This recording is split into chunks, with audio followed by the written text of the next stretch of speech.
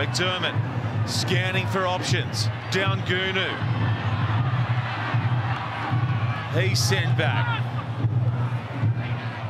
Tupou clears it for Scott Young. It's on on that far side. And who else would you expect or want it to be? Tries for Tonga time, and it's Taniela Tupou with a first five-pointer.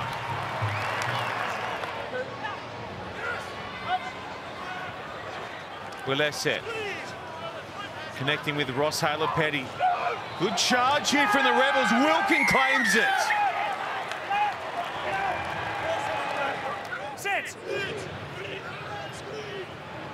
They keep it tight and drive hard. Penalty advantage here. McDermott, O'Connor, dumping. O'Connor now going wide. Hodge reads it and intercepts it, but we'll go back for the scrum penalty.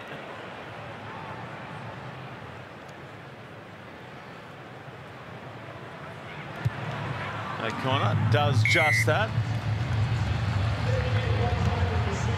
Leave it! Leave it!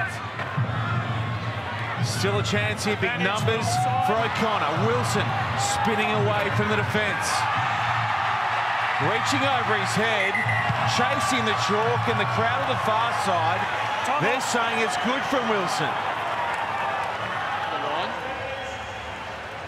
It's not your conventional grounding, but it's down with pressure. That's on the white line. No, there's, Drury, is no, it? uh, there's no separation there at all, and he's pushed down on top of it. So we're seeing a try. Agree. Yep, okay.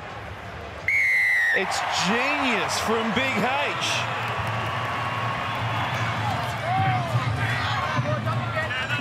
All right.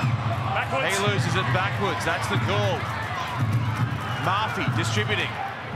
Across the line for Flook. Off the outside of the boots.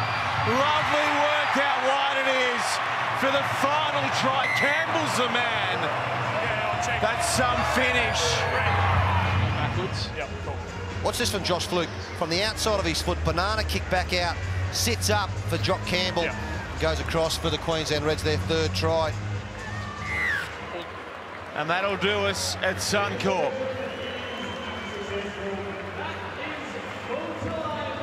Full time. The Queensland Reds have put away the Rebels 23 points to five.